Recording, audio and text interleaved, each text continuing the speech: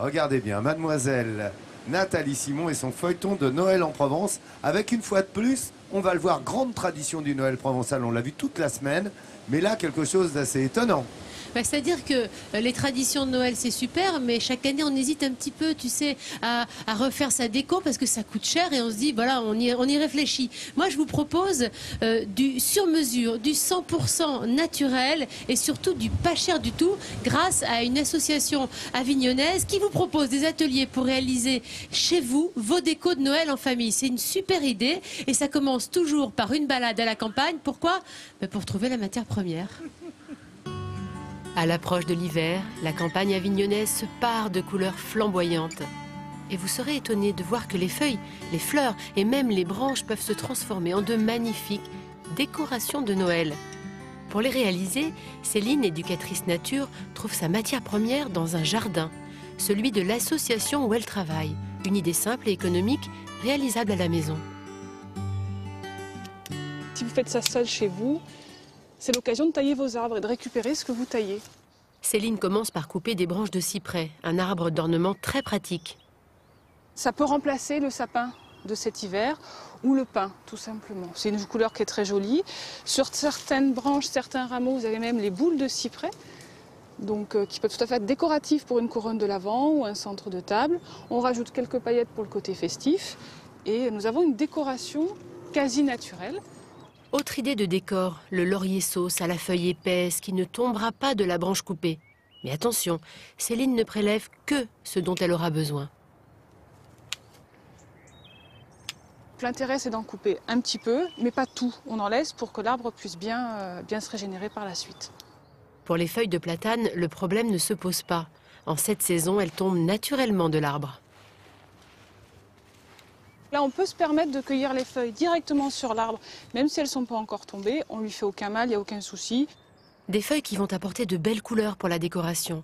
Et pour encore plus de matière, Céline a repéré une autre plante. Donc justement là, j'ai quelques petites boules rouges pour la décoration, c'est très vif. Donc évidemment, on y fait très attention, d'abord parce qu'il y a des épines. Donc pour des enfants, il faut être vigilant. Surtout que ces baies sont toxiques. Il faut donc les utiliser avec précaution. Mais dans les jardins, d'autres fruits sont, eux, comestibles. Là, c'est un arbousier, donc c'est un arbre typique de la région méditerranéenne.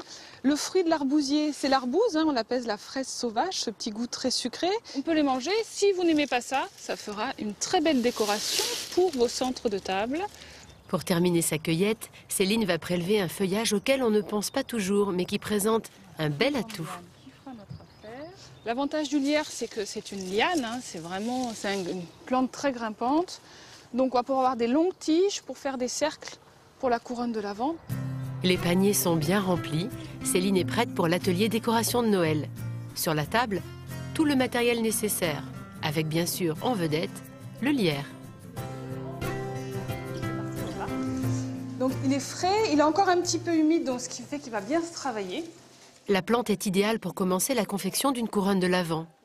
Une simple ficelle permet de maintenir l'ensemble. Pour Déborah, une jeune blogueuse, c'est une vraie découverte. Impeccable. Je prends la ficelle autour de mon cou. C'est pas quelque chose que, que je fais euh, souvent. Et cet atelier euh, ben, nous fait comprendre, en tout cas nous, nous, nous apprend qu'avec les choses qu'on a dans le jardin, on peut, on peut vraiment faire quelque chose de, de sympathique. Une fois la structure ronde consolidée, chacun décore la couronne à son goût. En y ajoutant par exemple les feuilles de platane ou les boules rouges ramassées ce matin par Céline. La réalisation ludique et écologique plaît beaucoup aux participantes de l'atelier. C'est sympa l'idée de faire soi-même sa décoration. euh, c'est moi qui l'ai fait. euh, ça me plaît bien. Et pour parfaire les créations, Céline n'hésite pas à leur donner une astuce. Pour faire un petit peu plus festif, on va mettre des paillettes juste sur les pointes pour pas enlever le côté naturel. D'abord, appliquer un peu de colle d'amande sur la pomme de pin. On va saupoudrer par-dessus. L'idée c'est de récupérer les paillettes. Les paillettes ainsi saupoudrées vont se fixer rapidement et le résultat ne manque pas de fantaisie. L'atelier est aussi accessible aux enfants et le petit Louis venu avec sa maman met la main à la pâte. Voilà, là tu peux mettre encore un petit peu de décoration. Il décore des rondelles de bois avec les matériaux de Céline. Et son engouement séduit très vite la blogueuse Déborah. Au bout d'une heure, les premières couronnes de l'avant sont prêtes. Et les élèves de l'atelier sont plutôt satisfaites de leur création. Euh, on peut dire que je me suis un peu lâchée en fait. C'était très sympa, euh, jolie décoration, Euh, les paillettes, je pense que ça se voit. J'en ai mis partout. Non, non, je suis ravie et je reviendrai. Même Louis est un peu déçu que le cours soit déjà fini. Dans quelques jours, ces œuvres naturelles et faits main viendront égayer les intérieurs des maisons pour un Noël des plus chaleureux. C'est une excellente idée hein, de pouvoir aller comme ça euh, fabriquer soi-même ses décos de Noël. Alors on reste dans l'ambiance de Noël. Regardez, je suis entourée de toute une équipe qui est vraiment en couleur de Noël, car je voudrais vous parler euh, de quelqu'un qui a ouvert un lieu absolument euh, passionnant et inédit. C'est Corinne. Elle était euh, anciennement courtier en assurance, passionnée de déco, et elle a décidé de mélanger différents milieux, différentes personnes, et de créer du lien comme ça avec comme point commun mettre en valeur le patrimoine de la région. Et pour cela, il y a deux ans, Corinne a entièrement rénové les 1200 mètres carrés d'un ancien hôtel particulier du XVIe siècle, de la Cité des Papes. Alors chez elle, regardez comme c'est beau. On peut, endroit au choix, aller euh, dormir dans des chambres comme ça, très cocoon, suivre des cours de cuisine, dîner dans un restaurant éphémère, admirer des expos d'artistes locaux.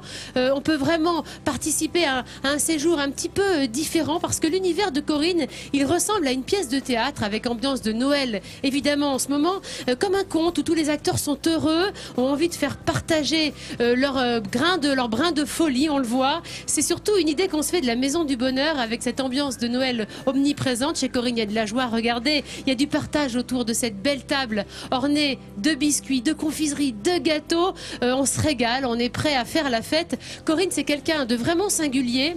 Il y a un petit peu de magie, un petit peu de folie dans le regard de Corinne et en fait on a l'impression qu'elle a gardé son âme d'enfant. C'est vraiment un univers atypique, original. La création, la transmission et pour toutes ces raisons évidentes, euh, j'ai décidé de remettre à Corinne un sourire de France. Bravo, et bien joué. Corinne, ah, alors Corinne n'est pas venue seule. Elle est venue Ouais, avec son chien magnifique aux Noël. couleurs de Noël. Et puis elle est venue regarder avec, Léon. ses amis, hein. Léon, le frère du Père Noël et euh, sa femme Zoël. Toute la famille, toute la troupe. Corinne, vous tournez-vous vers moi, Corinne? Voilà. Regardez, je vous remets le sourire de France. Est-ce que je le remets à votre chien ou à vous? Je ne sais pas, on va le remettre, on va le remettre à toute l'équipe. Et alors toute l'équipe, ils ont prévu de nous faire une petite chanson puisqu'on est à Avignon et on a le pont d'Avignon. Bah, c'est une façon euh, un petit peu originale de chanter le pont d'Avignon. Vous êtes prêts? C'est parti. Sur la d'Avignon, nion, nion, nion, ce nom, nom, oh, bon, d'Avignon, nion, nion, danse, danse, tous en rond, Voilà, tous en rond, rond, rond. Ça danse, mérite un danse, sourire danse, de danse, France, non? C'est bien. Mais quelle ambiance, regarde, c'est très bigarré, c'est très festif et c'est plein de couleurs et de joie. Bravo Corinne. Donc allez chez Bien Corinne joué, si vous bravo à toute voulez voilà, hein. avoir un petit, un petit brin de folie Ah là, là, aussi. là, oui, c'est- il y a tout ce qu'il faut. Voilà, c'est à visiter quand on vient ici. Bravo, il y a une belle ambiance euh, avec eux, vous l'avez compris.